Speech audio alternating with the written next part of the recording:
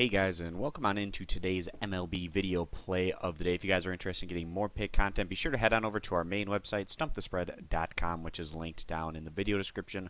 Over at our main site, you can access our daily free play as well as all of our top confidence premium bets, and be sure to click that subscribe button on our YouTube channel for more of this pick video content in the future. Heading into today's video, going to be talking about a matchup here between the New York Mets and the San Francisco Giants as the Mets continue their West Coast trip. Unfortunately for the Mets, they had a tough time in their opening series, getting swept across four games by the LA Dodgers. Have been having themselves a very strong year up to this point.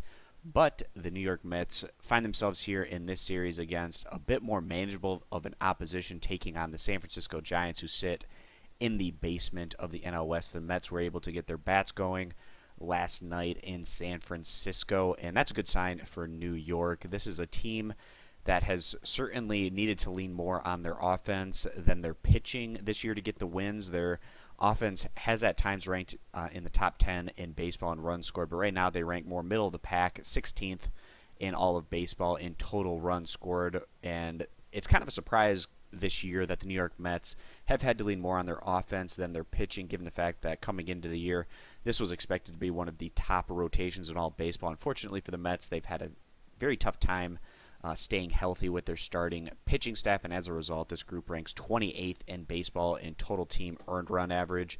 The Mets, however, are going to be sending out one of their better starters today, right hander, 29 year old Jacob DeGrom.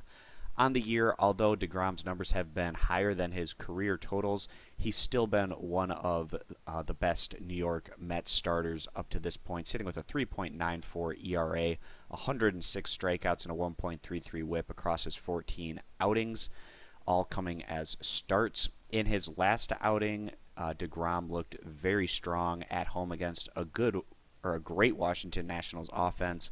As DeGrom posted eight innings, giving up three hits, zero earned runs, two walks to six strikeouts, and across his last two starts, coming against both very capable offensive teams in Washington and the Chicago Cubs. DeGrom has gone nine innings and eight innings, respectively, in each of those outings, looking much better uh, as of late as comparison to his two outings prior to that where he wasn't even able to get to the fifth inning in either of those starts. So DeGrom is coming into this start today against a very um, weak San Francisco Giants offense coming off of two strong starts that should give him momentum coming into this one today against the Giants. The Giants – They've really struggled throughout the campaign thus far. The Giants have been a very big disappointment, sitting in the basement right now of the NL West along with the San Diego Padres in an NL West division that's very top heavy. The Los Angeles Dodgers, Arizona Diamondbacks, and Colorado Rockies are in a three way horse race at the top of the division, sitting just a almost flip the record of the San Diego Padres and the San Francisco Giants, and you get the records of those other three teams that I just mentioned.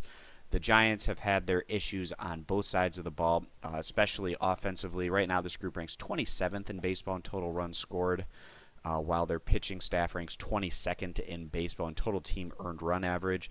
That's not a great number there. Uh, you always expect the Giants not necessarily to have the best offensive numbers given the ballpark that they play in, but uh, as a result of that, you also expect their pitching numbers to be towards the top of all baseball. That just hasn't been the case this season, and part of that has been because Johnny Cueto hasn't been pitching up to his career numbers. He's sitting over a full um, run per game on his or on his ERA is sitting over a run more than what he's posted throughout his career, sitting with a 4.42 ERA with a 1.3 WHIP.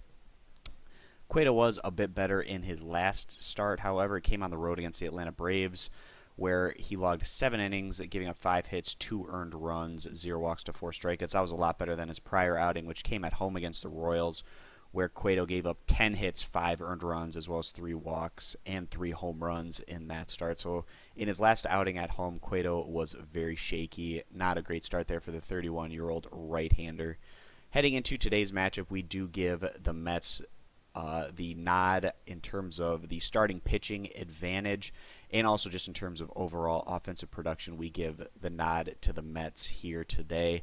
And right now, with this sitting at almost a pick 'em, you can get the Mets uh, somewhere between about plus 100 and minus 110 straight up on the money line. We feel like that's going to be a pretty strong value bet today. So we're going to go ahead and side with the road team, taking the New York Mets to get the job done in San Francisco this evening as they go on to win this one straight up. And that's going to be our MLB video play of the day. Again, guys, if you're interested in getting more of this pick video content in the future, be sure to click that subscribe button on our YouTube channel. And for more pick content, head on over to our main website, stumpthespread.com, which is linked down in the video description. Over there, you can access our daily free play as well as all of our top confidence premium bets. So thanks, guys, for stopping on in, and we hope to see you in future videos. Bye.